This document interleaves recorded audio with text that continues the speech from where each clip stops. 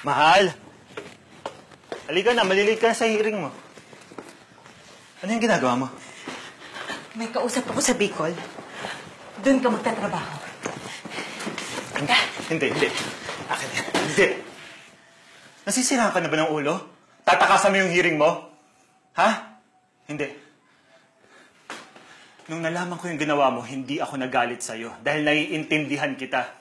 At yun din yung inaasahan natin na maiintindihan ng korte, pati nung may-ari ng kumpanya. Hindi natin alam yon. Nagnakaw ako, yun ang alam nila. Ilang beses na ako nakiusap kay Mr. Romulo, pero hindi siya nakikinig. Sarado na ang isip niya. At sa tingin ko, yun yung magiging sagot sa problema! Ha? Sa tingin mo malililigtas ka niyan? Hindi. Kailangan nating harapin to. Yun ang solusyon sa problema.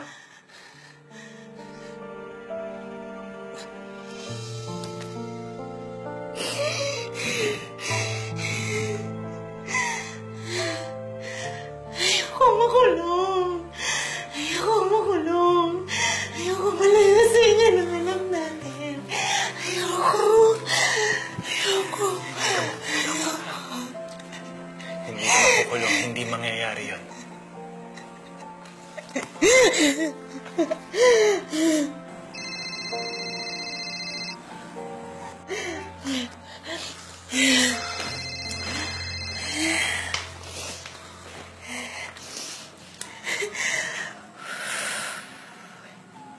attorney? Opo.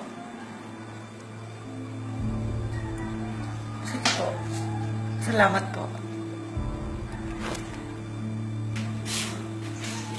Gusto daw ako makausap ni Mr. Romulo.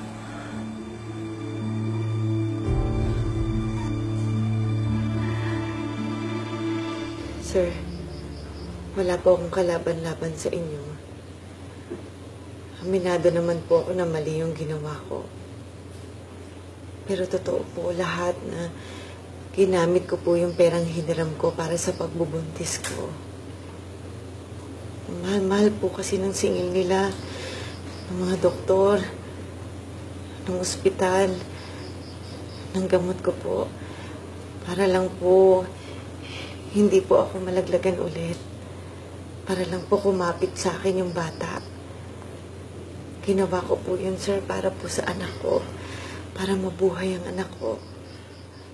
Nakausap ko na ang board of directors. Pumayag na sila na bayaran mo ang kinuha mong pera. Talaga po, sir. Ibig sabihin po, iuurong yun yung kaso. Maraming maraming salamat po. Hindi, Emily. Kailangan mo pa rin managot. Kailangan mo pa rin mahatulan.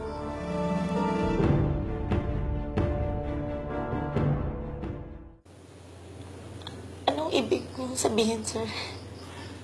Gusto ko at ng board to put in paper na may mananagot. At ikaw lang yon, Emily. But as a lending company, kahit negosyo ito, ang una talaga naming misyon ay makatulong sa mga nangangailangan na katulad mo. At hindi rin namin gugustuhin na malayo ka sa anak mo. Attorney Benitez?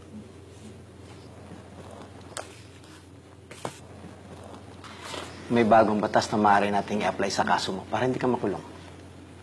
Mag-report ka lang sa warden ng city jail isang beses isang buwan.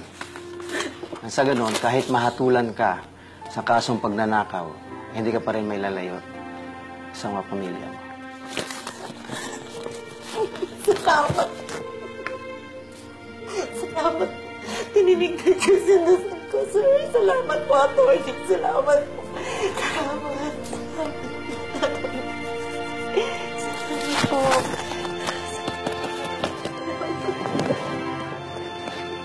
love.